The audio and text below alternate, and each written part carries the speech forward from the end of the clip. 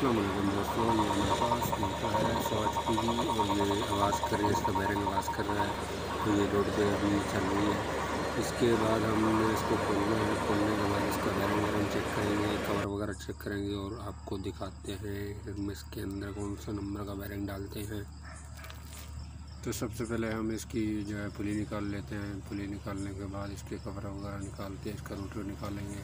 इसके bearing check करेंगे दोनों। अगर आप भी जो है कोई भी मोटर खोलते हैं तो सबसे पहले उसकी पुली खोलें। पुली खोलने के बाद जो है अगर बैरिंग चेंज करने हैं तो टापा वगैरह खोलें, आगे पीछे वाला कवर और बैरिंग चेक करें कि बैरिंग के अंदर क्या मसला है। तो ये जो फ्रंट वाला आगे का बैरिंग है, ये मसला कर रहा है। इसकी ग्रीस भी सूखी हुई है, और इसके अंदर चाल भी हमने इसको चेक किया है।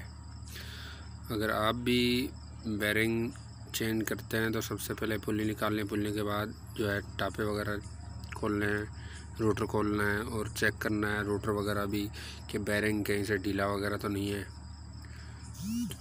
टापे के अंदर या शाफट के अंदर ढीला है तो फिर उसको चेक करें, उसको सही करें। तो हमारे जो है पीछे वाला बैरिंग सही था और आगे वाला जो बैरिंग है, ये मसला कर रहा था। अभी हमने इसे चेंज किया, इसका नंबर है तिरसठ तेरह। फ्रंट का।